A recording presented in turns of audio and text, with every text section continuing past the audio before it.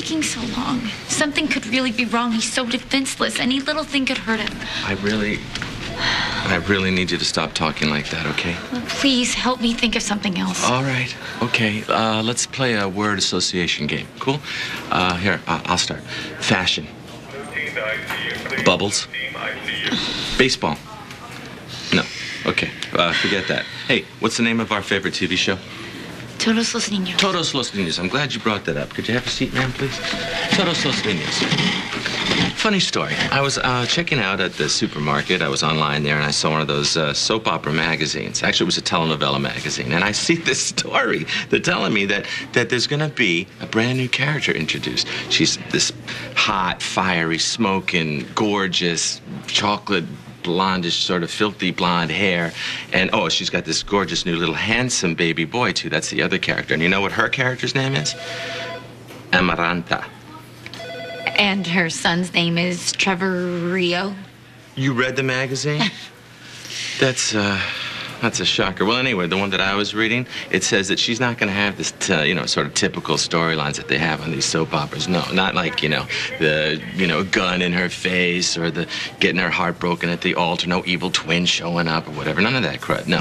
In this story, in this story, this is a very special story. She's going to have happiness, nothing but happiness. In fact, every single episode ends with a big fat smile. it's true. Dr. Martin? Yeah. It's not him. How do you know? You, you didn't even look at him yet. It's not him.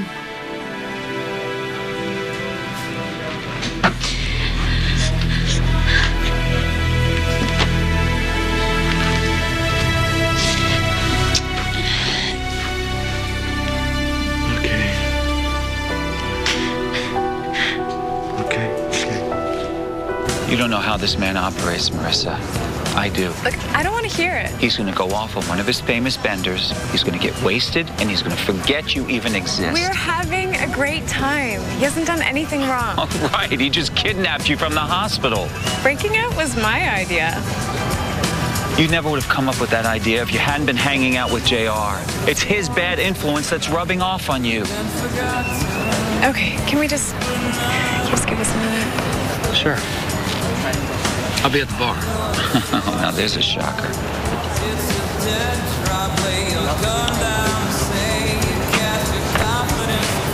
Okay, you need to back off. I can't. It's not optional. Marissa, you are lying on an operating table with a bullet in your chest. JR is right. I did freeze in the operating room. Just the thought of losing you just. Made it, David. You don't have to worry. That gunshot may not have destroyed your heart, but JR certainly will. And I can't just stand by and watch that happen. You need to stop treating me like a fragile little girl. I've been out in the world, protecting myself from all kinds of men. I'm sure you have, but J.R. Chandler is different. Maybe. But I want to give him a chance. Babe already gave him a chance. She gave him a million chances, and look how that turned out. For the last time, I'm not babe. I'm very well aware of that, okay? But JR is still JR. He's reckless, he's destructive, he's deadly. I'm not gonna lose another daughter to that bastard. Well, that's exactly what's going to happen if you don't stop interfering. Marissa, please, no ultimatums. I wanna be in your life. I want that too. But there have to be guidelines. I make my own decisions, and you need to trust that I can make good ones. Being with JR feels right. And I want to see where it goes. Okay, all right. At least meet me halfway. Meaning, I will release you from the hospital if you come back to Wildwind with me. Just for a few days, at least until I can see that you're okay.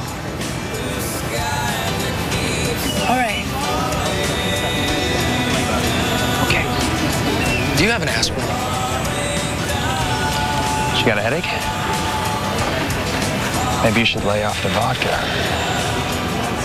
No, actually, I think I'm just gonna go home and go to sleep. You want to lift? No, I'm gonna call a cab. But there is something that you could do for me, Scott. Have dessert with Marissa.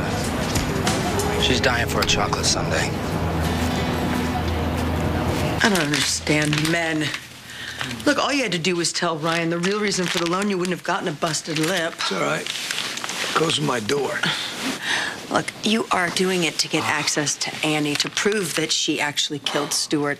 Ryan wants the same thing. Why don't you guys work together for work greater together. good? I worked with Erica, Ryan, Aidan. It didn't work. You know what? Bottom line is, I don't play well with others. It's too complicated. Too many people. So Annie has managed to elude Oak Haven security, police, FBI, and Interpol. But you alone, you're going to get a confession out of Yeah, her. that's the plan. And Ryan? What about him? You're just going to let him suffer, thinking that he might actually lose his daughter? I don't really care what Ryan thinks. But if he's smart, it's to stay out of my way. I uh, talked to Robbie, uh, Judge Robinson. Called in a few favors. You're not going to have to do anything this afternoon except sit around and collect that uh, fat retainer I pay you. If only I could handle all my cases on the back nine. Oh, there she comes. Well, we're not going to a funeral, sweetheart. Um, in a few hours, we'll be celebrating.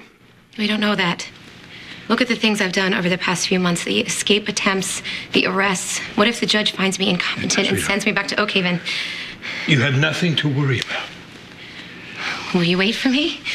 Will you ride it out while your crazy fiance rots in away in a padded cell? I can't go back there, Adam. Please, you can't let them send me back there. The judge will declare you fit. Barry will push for the earliest possible trial date. And we will get out of here before you know it. Okay? You're going to make a beautiful bride. Ready to go?